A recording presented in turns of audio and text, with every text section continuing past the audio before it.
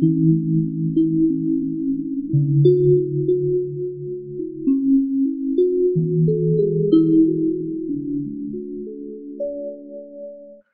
it's a great pleasure for me to introduce Professor Sasanka Mohan Roy. Professor S.M. Roy obtained BSc Physics in 1960, MSc Physics in 1962, both from Delhi University, and PhD from Princeton University in 1966. He is Raja Ramanna Fellow at Homi Bhabha Center for Science Education, Tata Institute of Fundamental Research. He has held numerous positions at TIFR, including Chairman Theoretical Physics Group Committee from 1992 to 1997. His specialization is quantum foundations, quantum information processing, and elementary particle physics. He has held visiting positions at University of California, San Diego, CERN Geneva, SUNY Stony Brook, Syracuse University, University of Alberta, Waseda University, among others. He was awarded the Shanti Swarup Bhatnagar Prize in Physical Sciences in 1981 and S. N. Bose Birth Centenary Gold Medal by Indian Science Congress in 2003. He started the Theoretical Physics Seminar Circuit, which has been running successfully for nearly 25 years with funding from DST. He has organized and lectured at many national conferences, schools, and workshops. Welcome, Professor S. M. Thank you for this introduction. And I try to interest you in something which is really foundations of quantum theory. And it is not yet clear what time scale there will be between its applications to quantum information being realized. Nevertheless, I take courage to present these ideas to you.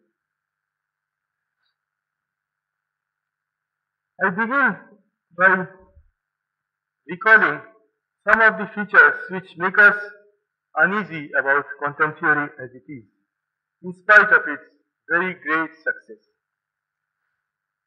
Beginning perhaps from the uncertainty principle in the year 1922, and many, many milestones one can recall. Every time you have tested it, it has been successful and it has made predictions which have never gone wrong. Why then do we keep repeatedly discussing the foundations of quantum physics? Now, first, between the classical description of the world and the quantum description, there is really a sea of difference. In the classical description of a, let's say, a set of n particles, we think of their phase space coordinates, x and p, being defined at a certain point of time, and then some kind of laws of motion like Newton's laws specifying how these phase space points move with time. In quantum theory, it is quite different. Suppose I knew exactly the quantum state of the system of particles which constitute this room. I will not know where any particle is. Or quantum theory will tell me is if I were to measure, measure the position, I would find such and such probabilities of finding it at a certain place. So the quantum description of the state of the system is very, very different. Now, why should that worry us if we know how to uh, how to predict things? Let me recall one feature of quantum mechanics, or one of the features of quantum mechanics.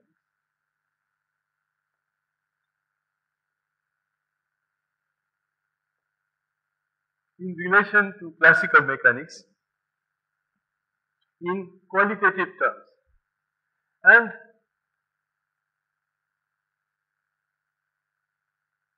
one of these features is causality. I use the word causality in the sense I have seen most eloquently described by Jauch. And I described the situation in terms of the very elementary state of a of a single qubit or a single spin half particle. Let us say I have a state which is 1 over root 2 up plus 1 over root 2 down. And this state of a single particle is submitted to a Stern-Gerlach apparatus which measures the component of spin in the z direction. And I have detectors here which record a click if the particle has spin component up, this one clicks. If it has down, this one clicks. Now suppose I have a source which is so faint that only one particle at a time goes through this apparatus.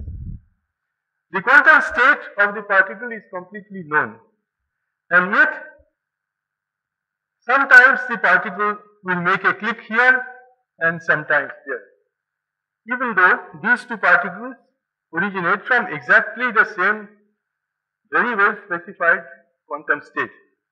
In other words,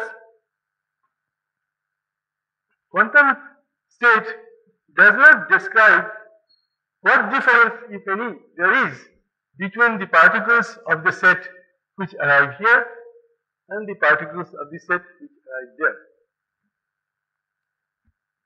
Now, Young stated causality to mean that different results have different causes. Here, this principle is not obeyed. Different results, namely a click here and a click there, arise from exactly the same well specified quantum state.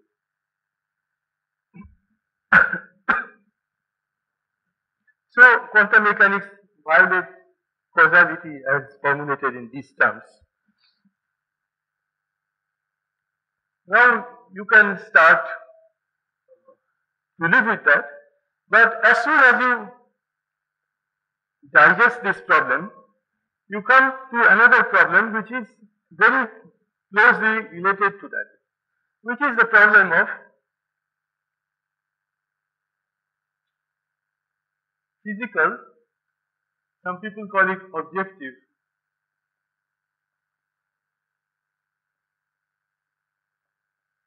objective reality. Uh, Einstein Podolsky and Rosen called it physical reality, but some people in the literature would call it objective reality. and the statement is that the observable, let us say in this case sigma z, the z component of the spin of the particle, the question is, it's of course an observable in quantum theory, but does it have physical reality in the sense a layman would constitute it to mean? Well, actually not a layman, in the sense that uh, Einstein, Podolsky and Rosen defined physical reality to mean. In their words,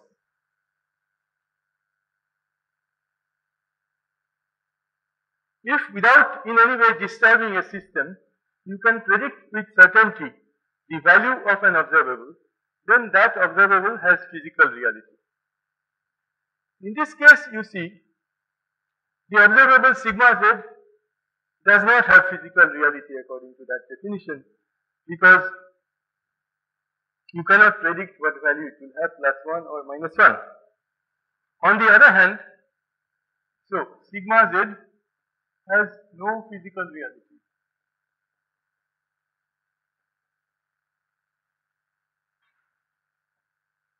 On the other hand, sigma x, you see, this is a state in which sigma x has eigenvalue 1.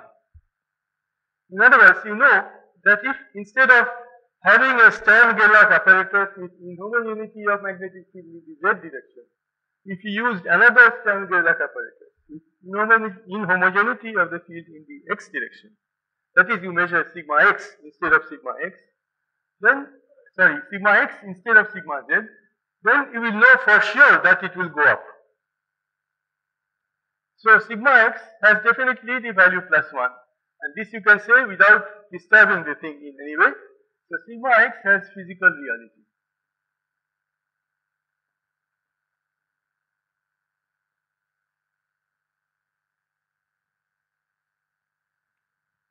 this is so far these are definitions which seem perhaps reasonable to some people. But with this with this definition of physical reality, Einstein added another criterion that physical reality should obey and that criterion is called locality or more precisely Einstein locality.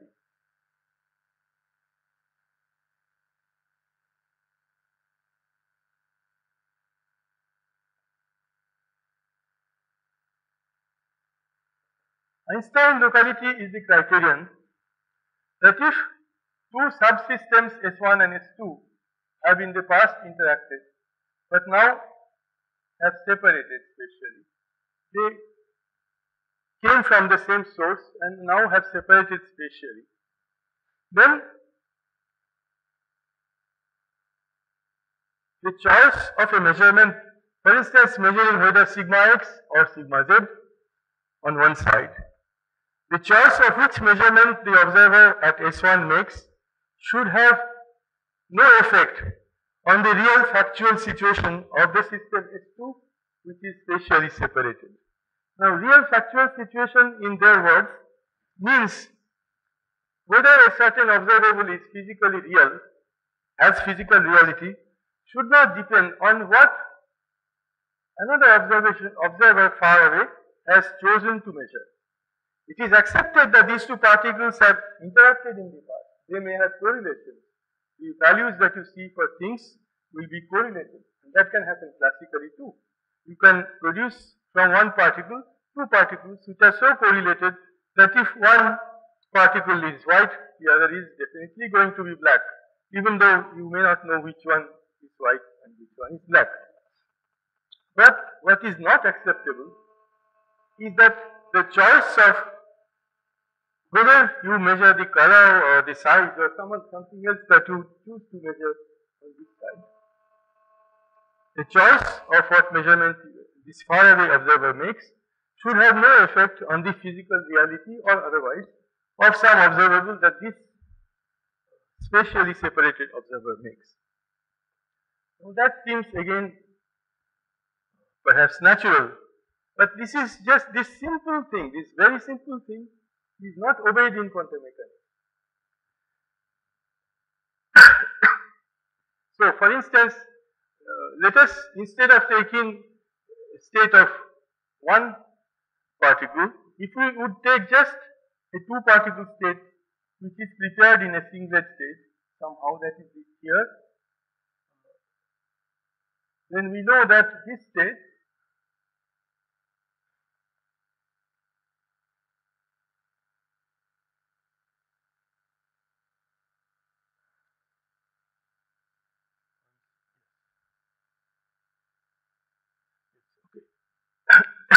This state has the property that if you measure sigma z for particle 1, you will predict immediately that the particle S2 will have eigenvalue, will be in an eigenstate of sigma z with the opposite eigenvalue. On the other hand, this state is spherically symmetric, which means that it looks exactly the same in the sigma x basis. That is, it looks, it can be written equally as x plus x minus minus x minus x plus. So equally, if he would measure sigma x, he will conclude that the other particle, for the other particle sigma x has physical reality. Now if you insist on the Einstein locality criterion and the PR physical real reality criterion, we will conclude that both sigma x and sigma z have physical reality because which measurement you make here does not affect which thing has physical reality here. But there is no quantum state which exhibits simultaneous physical reality of sigma x and sigma z. No simultaneous eigenstate of these two observables. So you conclude that EPR concluded that the quantum mechanical description is incomplete. And uh, the future theory, Uh, which will be constructed in agreement with the criterion of Einstein locality and the physical reality criterion here, they visualize that this future theory would reproduce all the nice good predictions of quantum theory, but it would have additional predictions. So would, that would constitute a completeness, a completing of quantum theory. But this hope was dashed by the discovery of Bell in 1964, a discovery which Stapp has called the most fundamental discovery of the 20th century. And this discovery is an extremely simple one. What Bell showed is that if you make a simple mathematical formulation of the Einstein-Podolsky-Rosen criterion of locality, you discover that it is not a question, not merely a question of the completeness of quantum mechanics, it's a question of correctness of quantum mechanics, which Einstein and company never questioned. Bell showed that the quantum mechanical correlations violate some inequalities implied by the EPR formulation of locality. So then, if there exists a completion of quantum mechanics, or if there exists a more complete theory which embodies the present quantum mechanics, which will be known in the future at some time, that theory will not obey EPR locality conditions. And of course, we are now uh, far away from 1964. We know very well that in the situations in which uh, Bell inequalities are violated, experiments support the quantum correlation. That is, experimentally the Bell correlations are violated. Experimentally, the EPR locality conditions are violated. Of course, there are still some small experimental questions which people can keep improving on. But uh, as Bell told me at some time, at a time when these things were not so clear, he said that with time, these uh, remaining loopholes will be closed and it seems exceedingly improbable that the Bell inequality will be respected by the future experiment.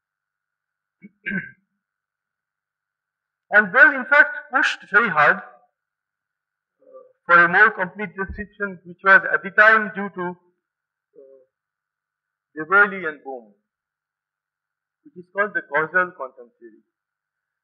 And he pushed for it for reasons which are actually not connected to any of these. So let me uh, let me recall for those who might not have read well on this subject. Incidentally, one of the places where Bell expresses these very strongly is in the last uh, lectures that are available by John Bell 1989, there was a conference in Erice where he gave a set of lectures entitled Against Measurement. And these lectures uh, are characteristically clear, like all of Bell's uh, expositions. And uh, I would recommend anyone to, who is interested in these things to have a look.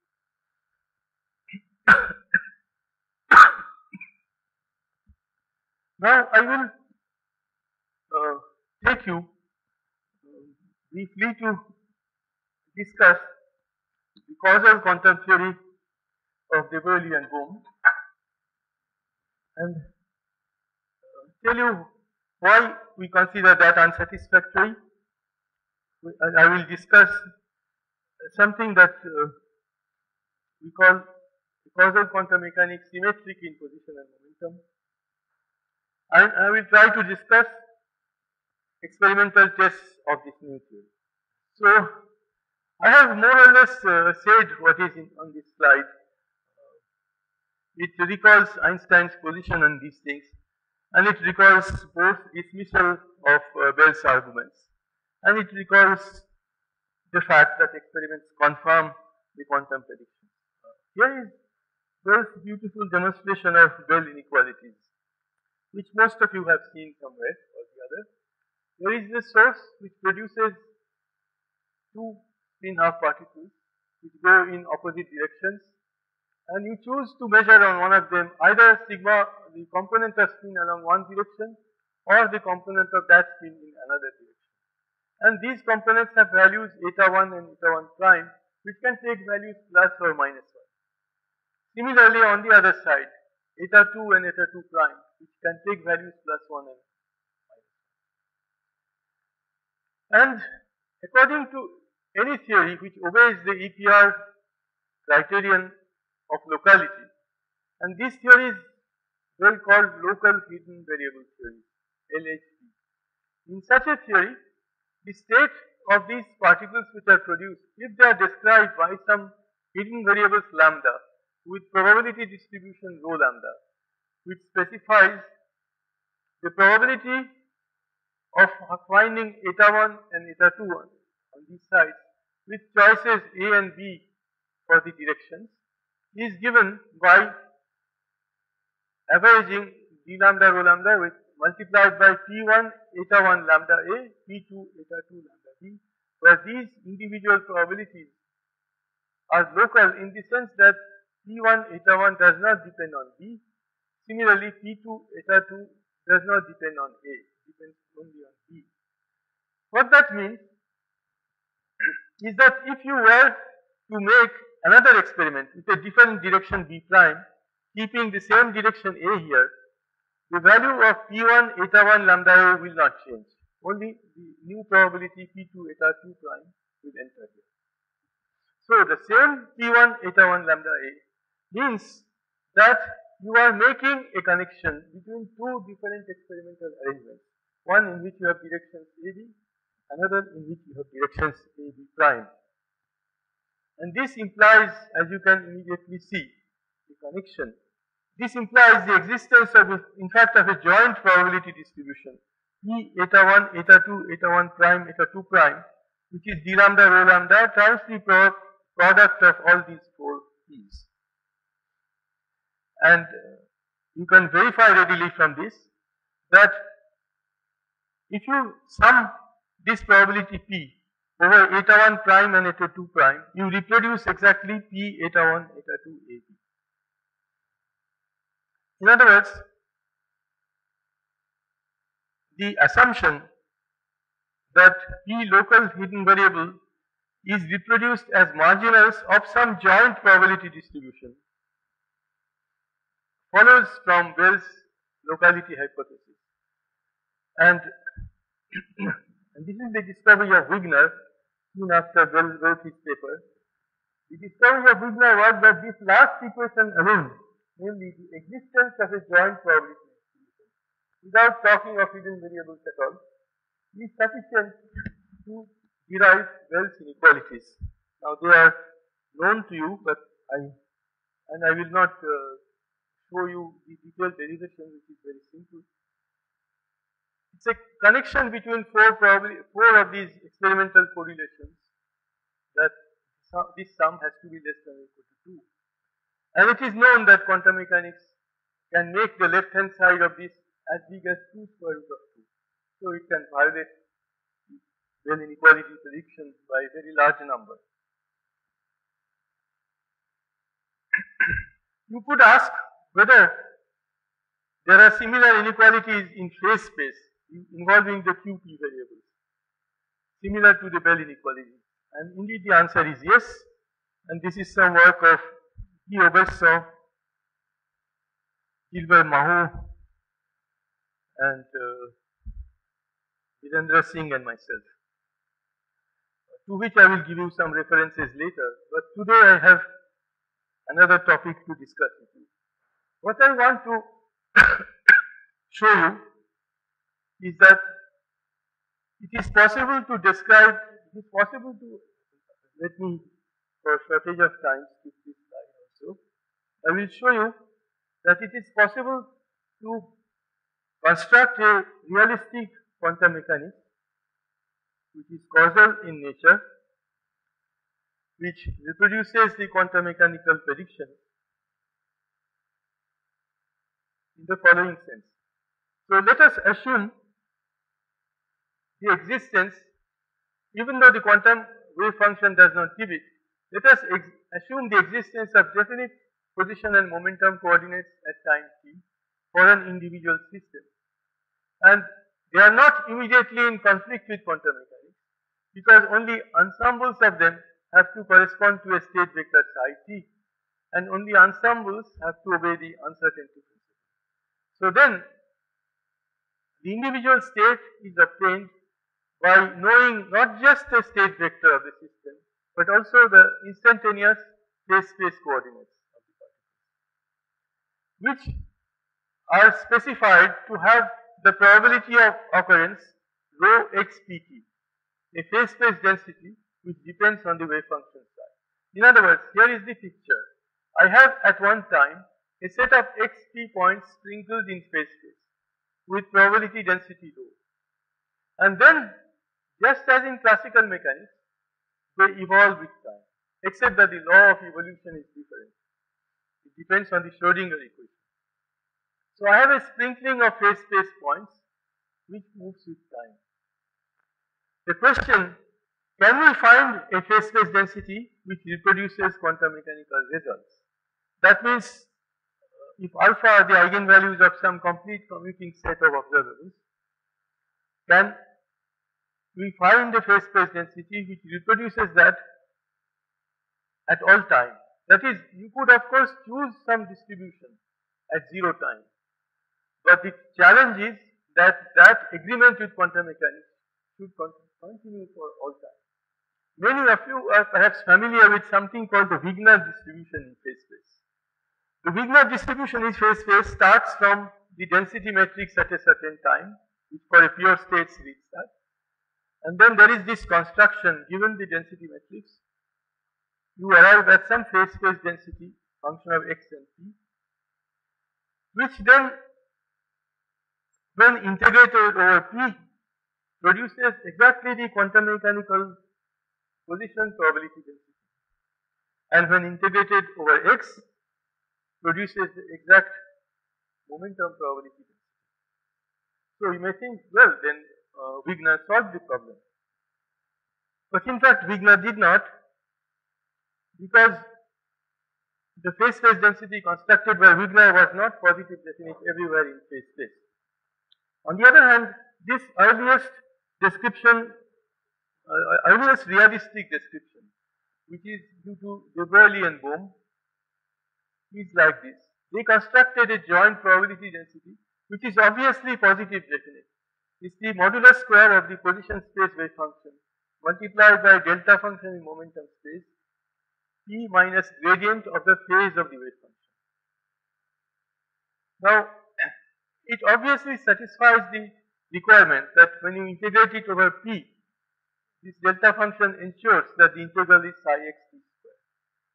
So it obeys at all times the position probability density of. It is however unsatisfactory as was first pointed out by Takabayashi. If you integrate the de Broglie-Bohm phase space density over x, you do not get the correct momentum probability density given by quantum mechanics. Example, take the minimum uncertainty state, which is very popular in quantum mechanics. In this momentum, in this minimum uncertainty state, the phase of the wave function is x p0. So the gradient of the phase is p0. So this delta function becomes delta p minus p0. And therefore the integral of the de Broglie-Bohm phase space density over x is just delta p minus p0. you see that delta p minus p0 is something which is centered strongly, so strongly at p0 that there is no scope for any dispersion in momentum for this for this density, for this quantity, for this, uh, for this density function. Therefore, delta p de Broglie Bohm is 0. On the other hand, we know that delta p, we know that for a wave function which has that expression in the coordinate space, equally the momentum space distribution is something similar with delta p given by 1 over 2b, not 0. So delta p the Bohm is 0, delta p quantum mechanics is non-zero.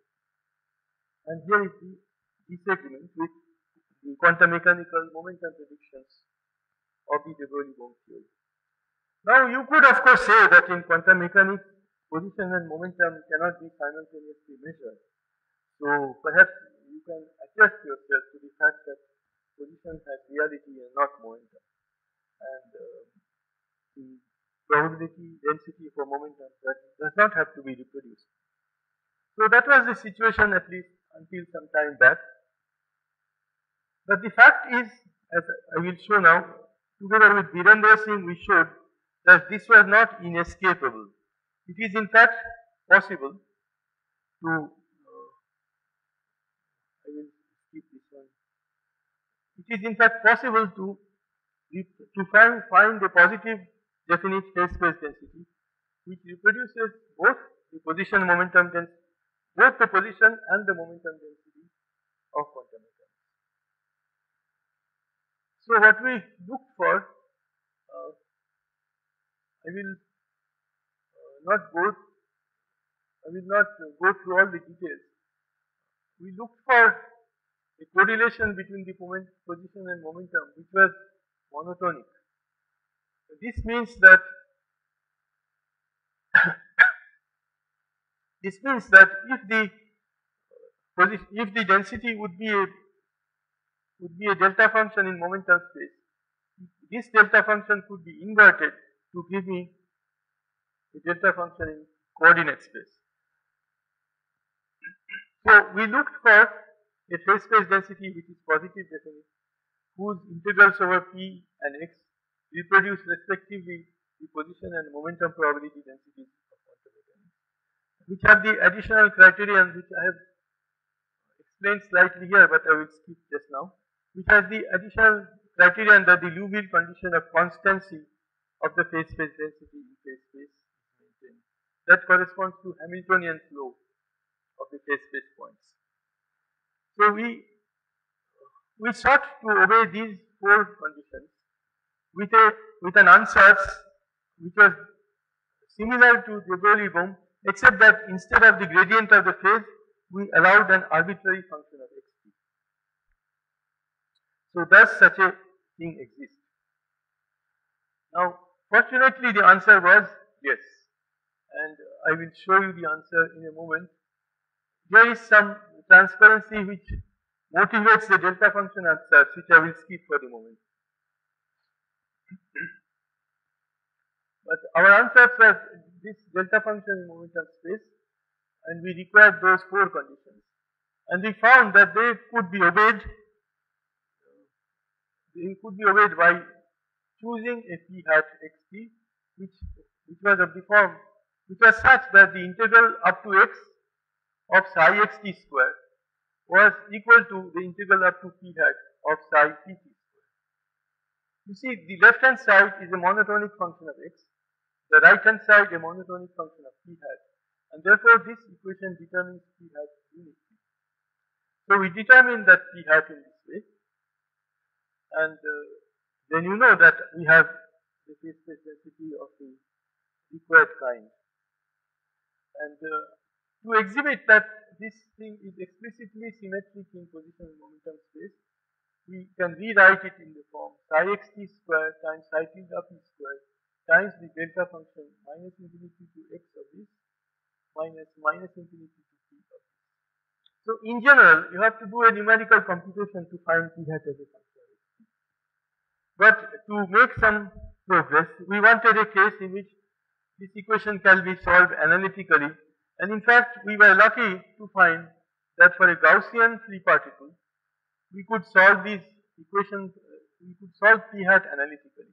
And the answer is just given by this. If beta and alpha are these constants which appear in the Gaussian wave function, then p hat minus beta is given by this equation with delta p and delta q being the widths of the position and momentum space of the packet that we started with. So here we have an explicit correlation between the position and the momentum for the particle which is described by a Gaussian 3. The question which in fact uh, was with us for a very long time and our colleague uh, CVK Baba encouraged me very much in the possibility that such experiments could be done. Unfortunately, uh, he, he, is no more. But I described the idea which I discussed very much uh, with CVK Baba. The idea was that here is there is let us say a source of Gaussian particles and I have here some measurer. I cannot have any measurer which has particles which are described with arbitrarily specified position and momentum. However, quantum mechanics allows me, quantum mechanics as it is, allows me to have position and momentum uncertainties which are which respect the uncertainty product to be bigger than or equal to h bar or h bar over 2. But in the uh, we know that if we start with a Gaussian packet, we have a spreading wave packet. So we could in fact have a wave packet which is very wide compared with the this spread given by this equation. So this delta x delta p of this uh, measurer would be much less than delta x delta p for the Gaussian packet which is present here. Therefore, it could it could still be a very good measurement of the position and momentum of the particle. Even if you start with an uncertainty limited set of the position momentum in the uh, measurer, you could have in fact a very good measurement uh, of the position momentum of the incident particle for which the quantum mechanics special precipitation, for instance delta x delta p could be 10 to the power 6 whereas this could be of the order of 10 times h bar. And the exciting thing is that you say that x and p are not simultaneously specified by quantum mechanics, so wave function does not tell you anything like that, that p should be correlated with x. Nevertheless, I have this prediction. Can I test it with a measurement? The answer is yes, but with limited accuracy. And the and the excitement is that this limited accuracy is still very good. So the caveat here is it would be good to have a method to measure x and p simultaneously. Here I just described this in words, but this has to be made a little bit mathematical, how these things are done. Uh, this has to be done mathematical. How can we how can we measure position and momentum of an object of a quantum mechanical object simultaneously with some accuracies which are as good as possible within quantum mechanics. For this we need the quantum theory of measurement, a dreaded word, which uh, in the classroom, at least in the beginning, people avoid describing. because in practical terms, not so much progress has been made in this theory, despite repeatedly knocking against the wall. Quantum measurement theory, which I will not describe in detail, uh, I will simply recall that uh, that in rough terms, the quantum measurement theory of von Neumann for an ideal measurement consists of coupling the system 1 to the meter 2 in terms of a certain Hamiltonian. Initial state, let us say, is a product state phi times chi. And if you describe, if you expand it in some complete set of states, you, you find with this Hamiltonian evolution that you find the final state of the form sigma c phi n q phi n x. That is the state of the measurer becomes tied to the state, initial state of the system. And in this way you glean what the quantum value, what the, what the quantum state here is for the particle by looking at the meter, meter or measurer. This last step, how do you read the meter, is not described by Neumann. This is called inexplicable observation of the meter state. Will reveals the system through this tying together of two. Now, there is a Hamiltonian which uh, von Neumann dreamed of, which does exactly this. It, starting with the state phi chi chi of x, it produces the state phi chi chi of x minus t k q. K is this constant. So, if the state of the meter was peaked around x equals 0 at some time 0, at time t it becomes peaked around the value t k q. So, it reveals the value of q. So, this is a single measurement. If you do this repeatedly, you will measure every time the value of q and the statistical dispersion of these measurements will give you delta q. That is Neumann's theory. I have actually no time to describe the extension of that to a joint measurement of x and p. I, uh, this one is meant only to give the reference since uh, it will be put on the internet or somewhere. Uh, you can uh, read this at your leisure. Here are the original people who constructed the theory of joint measurements of position and momentum, Arthurs and Kelly. This journal is not easy to find. However, there are subsequent descriptions of this work in these two other papers, which are in fact easy to find. And uh, you can, uh, in fact, this one not only represents the Arthurs Kelly work, but also describes the subsequent uh, refinements of that theory. the thing which is worth recalling is that in this there is a new uncertainty principle. Instead of delta q, delta p greater than half h bar, the uncertainty product for this kind of measurement is in fact greater than h bar instead of half h bar. And uh, I will uh, I will skip this. Uh, I, I will not read all these equations explicitly.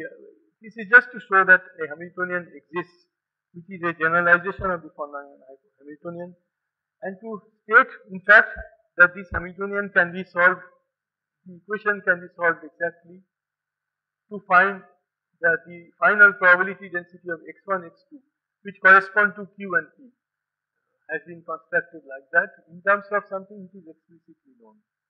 So I have not shown you how this is derived, I simply state that it's a very simple exact derivation which anyone can read up. there remains the question of the so-called construction of the meter states. This is the thing which I mentioned when I showed the figure that the position and momentum of the measurer cannot be fixed arbitrarily closely. They are in fact let us say they are given by some Gaussians and which obey some uncertainty principle themselves.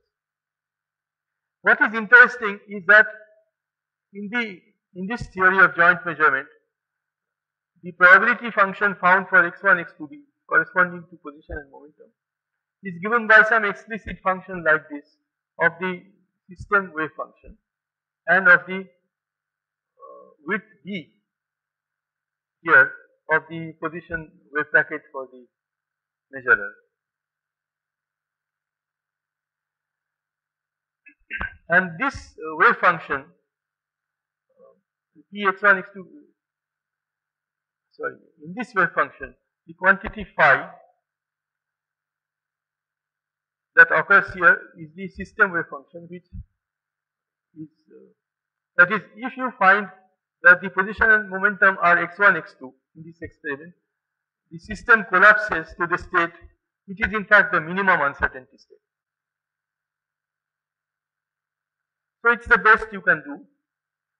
And for those who know these things, the probability density that you find in this in this joint measurement is in fact a smeared Wigner function corresponding to the state phi smeared with this W phi b which is in fact a kind of Gaussian in x and p. I did not describe how how this how this probability for joint probability for position and momentum is obtained. But uh, let me state that the good things that this joint probability offers you. It says that the expectation values seen for x1 and x2 are exactly the same as expectation values of q and p. However, the delta x1 and delta x2 do not quite coincide with delta q, delta p. They are different by these amounts which depend on these uh, meter uncertainties. You can try to make b 0 here, but then you will be making 1 over b large here. So you cannot gain very much by tinkering with b. Except to note that you can choose, you can ask how can I minimize the product delta x1 delta x2 and the answer is given explicitly here and you see that the minimum value is 1 which is what I described before.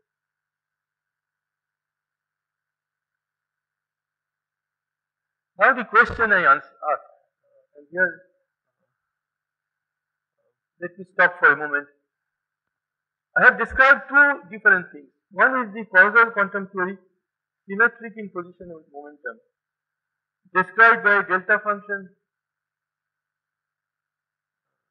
multiplied by some positive positive quantity.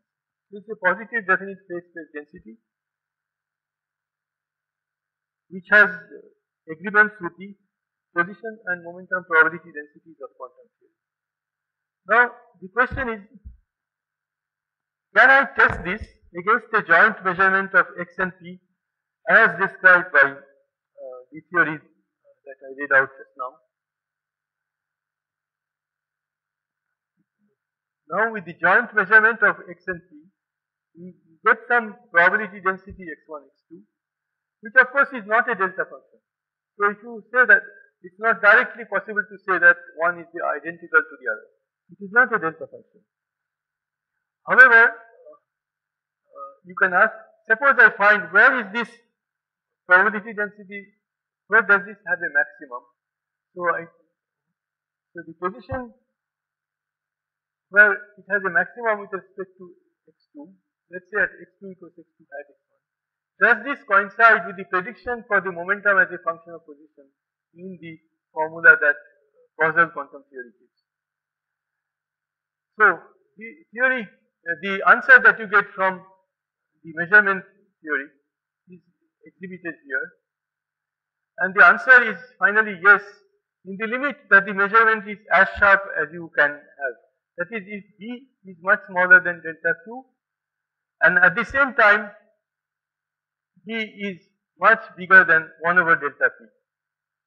Then in that limit, this formula agrees with the causal quantum mechanical formula uh, that I described before. And now let me show a figure which exhibits that. This I will omit. These are some references. Here is the figure. I'm sorry. Here, part of the, uh, in the scanning process, the ordinate is not visible. So I read it out from the computer which shows it. The ratio of the momentum in the causal theory of quantum mechanics and the most probable value of the momentum in the Arthur Kelly theory for the joint measurement of position and momentum. That is this coordinate. So the ratio here is 1, the top 1.996. That ratio is plotted versus the ratio of this measurement uncertainty in the measurer divided by delta q. And uh, we expect this, we expect agreement only for delta q, delta p, let's say bigger than 20 or so, because we want to agree with two with two inequalities in different directions. We need we can agree with that only for delta q, delta p bigger than equal to 20 or so. And you find, in fact, that if you are in the range when d, d over delta q is uh, small enough, let's say smaller than 0.1, then you find that the this agreement is this ratio r is uh, bigger than 0.99. it lies between 1 and 0.99 when this ratio is less than 0.1. So, uh, this is uh, very nice, but all this is, all this test is for the case of Gaussian wave, Gaussian wave function. And it encourages us obviously to look for more general functions uh, and to carry out the tests here. And uh, of course, although I have called it tests, these are tests in the theoretical laboratory because the experimental joint measurement has not been carried out. It is the theory of joint measurement that I am testing the theory. So far it's encouraging, but uh, the future. Thank you. thank you